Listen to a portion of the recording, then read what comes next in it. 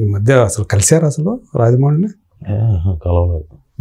మధ్యలో get together మా family get together లాగా ఇంట్లో కలిసాం వన్ ఇయర్ బ్యాక్ ఓకే.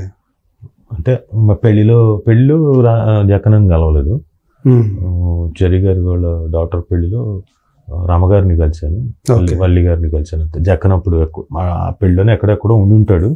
సరే ఇంకా మేము కూడా యాక్చువల్గా మీరు ఒక్కళ్ళే కాదు మొత్తం మీ ఫ్యామిలీ ఫ్యామిలీ అంతా కూడా వాళ్ళ ఫ్యామిలీ కింద లెక్క కదా యాక్చువల్గా అంతా కూడా. పరిచయం. ఇంట్లో కలిసాం అంతే. One year back one and half year back okay అంతే. ఆ తర్వాత మళ్ళీ ఫోన్ కూడా చేయలేదా? మరి గ్యాప్ వస్తుంది చూసుకోండి మరి అయితే. నాకు ఆ దిగులు లేదు సార్ ఉంటే అవసరం అయితే పిలుస్తారు. అదే. లేదా పిలిచారు అట్లా పిలుస్తారు. అంతే. లేదంటే లేదు. యాక్చువల్గా ట్రిపుల్ ఆర్కి ఇంకా మంచి వేషం ఊహించుకున్నారా? నేను- అలాంటి ఊహించుకోను సార్. నాకేం వచ్చిందో అది నేను బాగా చేశాను లేదా ఆలోచిస్తా. ఇంతకన్నా ఎక్కువ వచ్చింది ఇంతకన్నా తక్కువ వచ్చింది. అంటే ఇప్పుడు రాజీవ్ కనకాల అంటే చిన్న ఆర్టిస్ట్ ఏం కాదు కదా. కదా కొంచెం అరే మళ్ళీ మరి రెండు నిమిషం నేనే ఫీల్ అయ్యా. నేను జక్కని విషయంలో అలా ఫీల్ అవ్వనండి. నేను అంతకుముందు కూడా నా బిగినింగ్ డేస్ ఆఫ్ కెరియర్లో కూడా చెప్పాను. జక్కని పిలిస్తే వెనక భటుడుగా నించోమన్నా కానీ నించుంటా అంతే. ఏం లేకపోయినా. ఎందుకు అంత కన్సర్న్ అరే మరి స్టూడెంట్ నెంబర్ వన్ స్టార్ట్ అయిన తనతోటే కదా పైగా నేను చేయనన్నాను ఆ సినిమా. ఎందుకంటే నేను టెలివిజన్లో అప్పటికే నేను ఒక పెద్ద స్టారు. ఒక నా డబ్బులు బాగా వస్తున్నాయి. ఆర్ ఆర్కే ప్రొడక్షన్స్లోనే ఒక రేంజ్లో పర్ డే తీసుకుని డ్రా చేస్తున్న వ్యక్తిని. ఉమ్, ఆ, అలాంటి నీ- ఇది సడన్గా సినిమాలోకి అంటే అప్పటికి నేను సినిమా చేసి సినిమాలు చేస్తున్నా సడన్గా నేను వద్దనుకున్నా సినిమాలు. ఎందుకంటే టీవీ నాకేదో ఎక్కడో సంవేర్ నాకు మర్యాదకి ఇబ్బందిగా ఉందనుకొని వదిలేసుకున్నా సినిమాలు. ఓకే. టీవీ నేను ఇక్కడ కింగ్. అదే. ఇక్కడ జరుగుతున్న మర్యాదలు ఇంకోటి అన్ని అన్ని బాగానే ఉన్నాయి. నేను వెరీ ఫ్రెండ్లీగా ఉన్నాను నా ఫ్రెండ్స్ అందరూ రోజు నేను వెళ్ళడం నేను షూట్ చేసుకుని రావడం కంటిన్యూస్గా బిజీగా ఉన్నాను ఉమ్, అలాంటి వ్యక్తి స్టూడెంట్ నెంబర్ వన్ చేయాలని క్యారెక్టర్ చెప్పాడు. బాబు ఎలా ఉంది అన్నాను. అప్పుడే ఆల్రెడీ శాంతి నివాసం చేసి ఉండారు కాబట్టి. అది చేశాను కాబట్టి లేకపోతే యాక్చువల్గా నన్ను అనుకోలేదు. నా రాఘవేంద్రరావు గారు కానీ దత్ గారు కానీ ఫస్ట్ నన్ను అనుకోలేదు. ఎందుకంటే మళ్ళీ అదే negative role negative role plus ఆపోజిట్గా ఉండేది ఎవరైనా ఇంకొక కొత్త ఫేస్ చూద్దాం అనుకున్నారు. జక్క నుండి నా పర్ఫార్మెన్స్లు సంగతి తెలుసు కాబట్టి నేను ఎలా చేస్తానో తెలుసు కాబట్టి "లే- లేదు రాజీవే కావాలని పట్టుబట్టాడు. ఓకే. ఎందుకంటే టూ షేడ్స్ ఉంటాయి కదా. కొంత ఏమో విలని కనపడాలి. సడన్. గా మళ్ళీ కామిక్ అసలు బఫూనరీ చేసినట్టు ఉండాలి. "ఉమ్, భయ్యా భయ్యా నువ్వు చెప్పయ్యా అనుకుంటూ ఉండాలి. సో అంత వేరియేషన్ చూపించాలంటే కావాలనుకున్నాడు వచ్చి చెప్పాడు. సరే చేస్తా అన్నాను డబ్బుల విషయం మాట్లాడారు. చేయనన్నా అని మళ్ళీ బాగా వస్తుంది ఎందుకంటే. కదా. అంతే. పదే వస్తుంది అది సినిమా అంటే ఇంకెక్కువ రావాలి. లేదా పోనీ దీంట్లో ఇంకొక సగం అన్న రావాలి అది కూడా లేదు ఇది కూడా లేదు. టీవీకి వచ్చింది కూడా లేదు. నేను చెయ్యను. ఏ, అన్ని డబ్బులతో ఆలోచించకు. దీని తర్వాత కెరీర్ భలే ఉంటుంది బాగుంటుంది చూడు అని చెప్పేసి అంటే. ఓకే. "ఉమ్, సర్లే చేస్తాలే. అలా. అలా స్టూడెంట్ శ్రీకారం అంతే మరి. టోటల్గా సినిమా ఇండస్ట్రీకి వచ్చేసాను. అదే. అది అయిపోయిన దగ్గర నుంచి నేను కంటిన్యూస్ మూవీస్ కంటిన్యూస్గా మళ్ళీ గ్యాపే లేదు నాకు. ఓకే. సో అందు గురించి ఆ కన్సర్న్ ఉందన్నమాట ఆయన మీద. ఉమ్. ఎంత మధ్యలో- చిన్నది ఇచ్చినా సరే ఇప్పుడు పైగా నేను చేసిన దాంట్లో ఓ విక్రమార్కుడు నా లైఫ్లో గుర్తుండిపోయే క్యారెక్టర్ ఎవరు ఎవరు చూసినా ఎవరు కనపడ్డా. స్టూడెంట్ నెంబర్ వన్ చెప్తారు విక్రమార్కుడు అండి మీరు చేశారండి నేను చేయడం లేదు క్యారెక్టర్లో ఉంది అది. టైలర్ టైలర్ మేడ్ పెయిన్ అంత పెయిన్ ఉంటది అది. అందులో రాసి ఉంది ఆ క్యారెక్టర్లో. ఉమ్, విజేంద్ర ప్రసాద్ గారు రాశారు. వాళ్ళు బాగా బాగా టైట్గా పిండుతారు కదా ఎమోషన్ని. అవును. అందులో రాశారు. జక్కన్న తీయడం తీసే విధానం ఉంది. ఇవన్నీ కూడా నాకు హెల్ప్ అయ్యాయి యాక్టర్గా అవును. అలాగే శైలు నేను నాకు చెప్పింది రెండు సీన్లే అయినా తర్వాత నేను మొత్తం గేమ్లో ఆ బౌండరీలో ఉంటాను కదా కోచ్గా అది కూడా విపరీతమైన పేరు తెచ్చిపెట్టింది. ఇవి కూడా రాజమౌళి గారి సినిమాలే కదా. అవును. సో నాకు ఆ కన్ ఎప్పుడు నాకు ఆ ఇది ఉంటుంది ఆ గ్రాటిట్యూడ్ నాకు ఎప్పుడు ఉంటుంది. ఓకే. అంటే మీ సొంత మనిషిలాగా ఫీల్ అయిపోతారు అంతే. ఇంకా రాజమౌళి అంటే.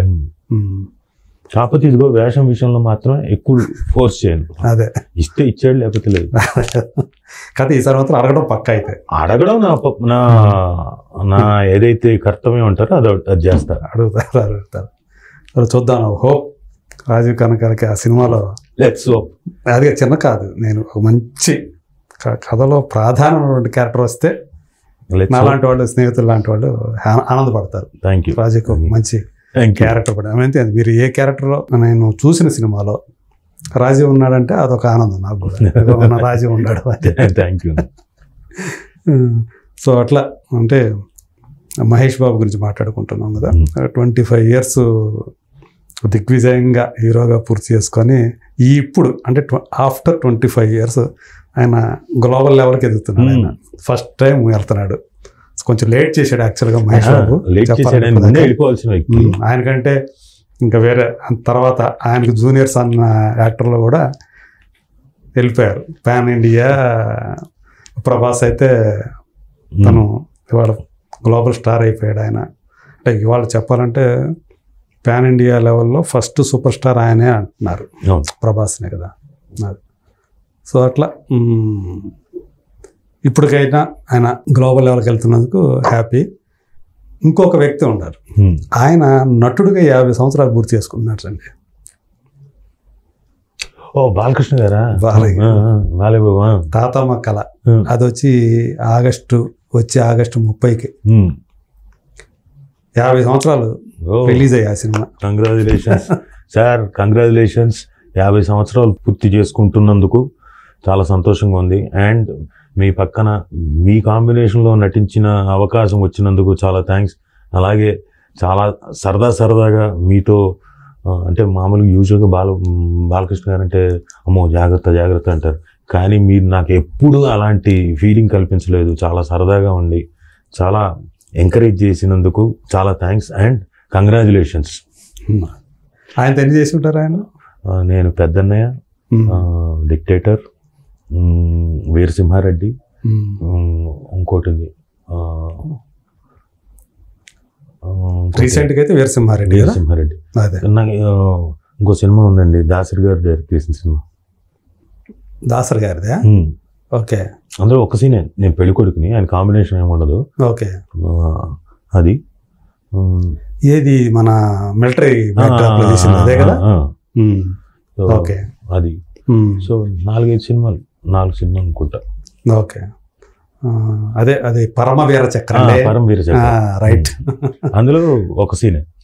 పెళ్ళి కొడుకు ఆ స్టేజ్ మీద కూర్చొని ఉండడం. ఓకే. ఏ రోజున ఆయన కూడా బాలకృష్ణ గారు ఎప్పుడు భయపెట్టలేదా? ఆ, ఒక్కసారి మాత్రం భయపెట్టారు. కానీ ఊరికే సరదాకి. సెట్స్ మీద? సెట్స్ మీద. ఓకే. ముందు వీళ్ళు భయపెట్టారు నన్ను. బాలకృష్ణ గారు అక్కడ జాగ్రత్త. రమ్మంటున్నారు మిమ్మల్ని. నన్న ఏం చేశాను? నేను ఏం చేయలేదు కదా. నాకేంటి సంబంధం? అంటే, నాకేం తెలుసు మీరు వెళ్ళండి అన్నారు. ఏదో ఉంటది. పిలిచారంటే ఏదో ఉంటది అన్నారా? ఏంటంటే ప్రిపేర్ అయ్యాను. ఏంటి ఇప్పుడైనా లేచి తప్పని కొట్టాడు అనుకో వాస్తుంది కదా ముందు కొబ్బరి నూనె తీసుకుంటే బెటర్ ఎందుకంటే ఆ వాపు తెలియకుండా ఉంటుంది. ఇట్లాంటి. ఆలోచించుకుంటూ ఆ స్టేషన్లో ఖైరతాబాద్ దగ్గర ఈ మెట్రో దీంట్లో అక్కడ జరుగుతుంది. ఓకే. ఆ రోజున ఏంటంటే నాకు ఆ ఓవర్ నైట్ బ్రిడ్జ్ ఉంటుంది కదా డిక్టేటర్ షూటింగ్కి ఓకే. ఆ పై నుంచి దాంట్లో నా నా షాట్లు తర్వాత ఉన్నాయి. ట్రైన్లో వీళ్ళవి ఉన్నాయి. ఓకే. ఈయన కూర్చున్నాడు అక్కడ అంత దూరంలో. దగ్గరలో ఎవరు ఉంటారు? ఎవరు ఉండరు కదా. అవును. చాలా స్లోగా నడుచుకుంటూ వెళ్తున్నా. ఇదే ఆలోచనతో వెళ్తున్నా. ఉమ్. "ఆ, ఎవరా ఇతను ఎవరు పిలిచారు? నాకు తెలియకుండా ఎవరు ఎవరిచ్చారు క్యారెక్టర్ అన్నాడు. అమ్మడి అమ్మ ఇప్పుడు ఇక్కడ దాకా పిలిచి నాకు వేషం లేకుండా చేస్తారేమో. అంటే ఇంకా బిగిన్ కాలేదు మీ వేషం ఇంకా? ఇంకా లేదు అదే రోజు. ఫస్ట్ డేనా ఫస్ట్ డే అమ్మ అయిపోయాను. సర్లే ఆ కొట్టింది ఏదో కొట్టినా బాగుండు కదా ఈ మాట అన్నాడేంటి? అంటే నేను సార్ అన్నా ఉమ్. "ఆ, సరే సరేలే కూర్చో ఊరికే నల్లేవా అన్నాడు. అంటే సరే అని కూర్చున్నా. కూర్చున్న తర్వాత కూడా చాలా భయం భయంగా కూర్చున్నా. ఇక్కడ కూర్చున్నాడు ఆయన పాటలు వింటున్నాడు ఆయన. హెడ్ ఫోన్స్ పెట్టుకొని. నేను ఇలా కూర్చున్నా. ఇంకోటి ఆ పాట మధ్యలో ఉన్నాడు. ఆ పాట ఫినిష్ చేశాడు. ఈ ఐదు నిమిషాలు నా పరిస్థితి ఇదే. దిక్కులు చూస్తున్నాం తర్వాత ఏమవుతుంది? ఐదు నిమిషాల తర్వాత అన్నది చిన్న భయం ఉండింది. ఓకే. నేను చాలా అంతసేపు అట్లా అట్లా కామగా కూర్చోవాలంటే కూడా అంటే లోపల ఏవో ఆలోచన. But he's a sweet man. నాకు ఎప్పుడూ ఇబ్బంది కలిగించలేదు. వీరసింహారెడ్డిలో అయితే జనం మధ్యలో నడుచుకుంటూ వెళ్ళాలి పాట. ఈయన స్టార్ పట్టించుకోవాల్సిన అవసరం లేదు అసలు ఇంకొకళ్ళు రాజీవ్ నువ్వు ముందుకు రా తొక్కేస్తారు జనం. రా లోపలికి. "హ్మ్, పద నాతో రా. ఎందుకు అనాలి అనాల్సిన అవసరమే లేదు. అదే. ఇంత కూడా అనాల్సిన అవసరం లేదు. ఆ తర్వాత అలాగే ఆయన క్యారవాన్లో ఉన్నాడు. క్యారవాన్ ఉంటే రా అమ్మ భోజనానికి రా అన్నాడు. అవసరం ఏంటి పిలవడానికి? పక్కన. పక్కన ఇంకా దునియా విజయ్ ఇంకొకళ్ళు ఇంకొకళ్ళు ఎవరో ఉన్నారు. వీరసింహారెడ్డి టైం. వాళ్ళని పిలుచుకోవచ్చుగా నన్ను ఎందుకు. అవసరమే లేదు. బట్ సమ్వేర్ ఎక్కడో. కానీ మీరు కూడా కనెక్ట్ అయ్యారు అనమాట అంతే. లేకపోతే ఆయన అందరితో సరదాగా ఉంటాడు. ఒకవేళ. హద్దులు దాటితే ఆడికి పడుతుంది. అది వర్బల్గా పడుతుంది ఫిజికల్ కూడా పడవచ్చు. అంటే మామూలుగా ఆయన కొంచెం డిసిప్లిన్ మెయింటైన్ చేసే వ్యక్తి కాబట్టి బాగా. కొంచెం ఎవరైనా డిస్టర్బ్ చేస్తే మీరు అన్నట్టు మొహమాటం లేకుండా చిచ్చి అసలు మొహమాటమే ఉండదు. ఇక్కడి నుంచి మనం గనక అక్కడ దాకా నడుచుకుంటూ వెళ్ళేలోపు ఎవరైనా డిస్టర్బ్ చేస్తే. ఆ ఒక పది అడుగుల తర్వాత మొహమాట లేకుండా తిట్టేస్తాడు ఆయన. మొహం. మీదే. అది తిట్టడం కొట్టిన కొట్టినట్టు అనిపిస్తుంది కనుక కొట్టినట్టు ఉంటుంది. కొన్నిసార్లు కొట్టినా కొడతాడు ఆయన. మేజర్గా తెలిసిన వాళ్ళైతే తిడతాడు బుద్ధి జ్ఞానం. మీకు తెలిసినంత వరకు అట్ట అట్ట అట్ట జరిగి. కొట్టడం కూడా? కొట్టడం జరగలే. తిట్టడం జరిగింది. సరే అది. నేను. నేను ముందు నుంచి అనుకుంటున్నా వీళ్ళకి అవుద్ది వీళ్ళకి అవుతుంది అవుతుంది అవుతుంది అవుతుంది ఇప్పుడు అవుతుంది ఇప్పుడు అవుతుంది అనే ఆలోచనలో ఉన్న కరెక్ట్గా అక్కడికి వెళ్ళేసరికి అయింది? అయిందా. అయింది ఓకే. అది వీళ్ళ తప్పే. బాలయ్య ముందు.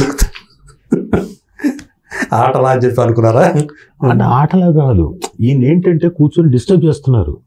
చుట్టూ కూర్చొని అంతవరకు కూర్చొని ఓ ఇటు అటు అటు అటు ఇటు కూర్చొని ఓ బ్రెయిన్ తిన్నారు. నేను చూస్తున్నా ఈయన ఈయనకి ఇప్పుడు స్టార్ట్ అయింది చిరాకు స్టార్ట్ అయింది. ఇంకా ఇప్పుడు అంటున్నాడు. కరెక్ట్ సర్లే ఇంకోటి అంటున్నాడు. "ఆ, ఇప్పుడు కాదు ఎప్పుడు పడుతుంది ఎప్పుడు తిడతాడు ఈయన ఎప్పుడు తిట్టుతాను అప్పటికే పదిహేను ఇరవై నిమిషాలు అయింది. అంటే Hmm. చాలా ఓపికతో ఉన్నట్లు లెక్క.